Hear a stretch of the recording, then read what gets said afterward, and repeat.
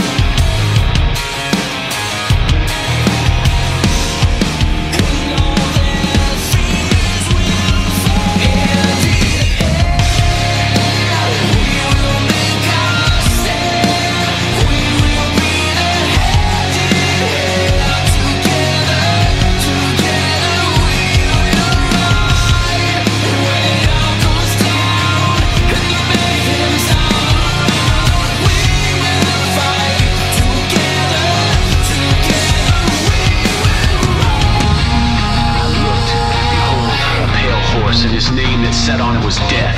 And